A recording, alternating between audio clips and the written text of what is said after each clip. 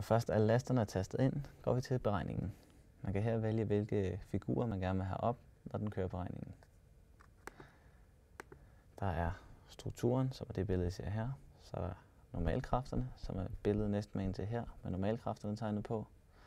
Et med momentkræfterne tegnet på, og et, hvordan bøjningen er i konstruktionen. De ses her. Bøjningen, moment, normalkraft og strukturen. De kan også ses herinde. Der kan man vælge mellem strukturen, normalkræfterne og momentkræfterne. Bøjningen er vist hernede.